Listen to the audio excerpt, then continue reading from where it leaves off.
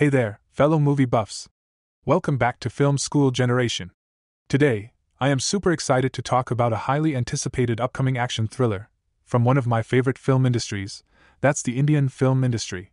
And the film in question is Salaar, starring the one and only Prabhas and directed by the incredibly talented Prashant Neel, the mastermind behind the blockbuster film KGF. So, grab your popcorn and let's dive right into it.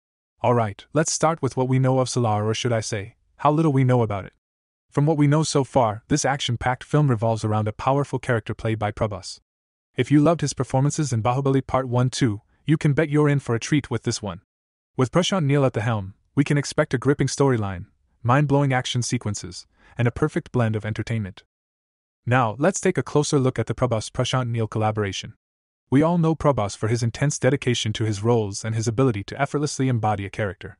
Sadly, the last few films of his have been misfires, and he kind of really needs a hit right now. On the other hand, Prashant Neel's success with KGF showcased his brilliance in storytelling and direction. With their combined talent, we can imagine Salaar will be nothing short of a cinematic extravaganza. I feel like Prashant Neel is the only Indian filmmaker along with S.S. Rajamouli who could present something contemporary yet highlighted as if it is set in a dystopian society, almost Mad Max Blade Runner like, and do complete justice to the scale and massiveness of the project. I feel this film will work wonders for Prabhas, who is in desperate need for a knockout success, and maybe a dystopian action packed adrenaline pumping Prashant Neel project is exactly what he needs right now.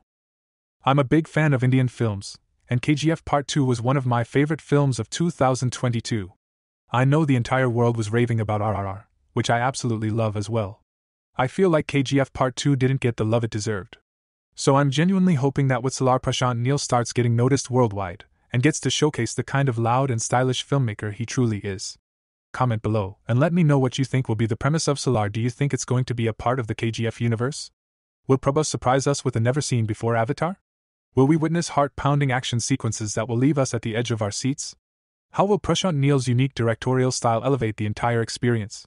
Feel free to let me know of your predictions. My sincere apologies if I butchered any of the names.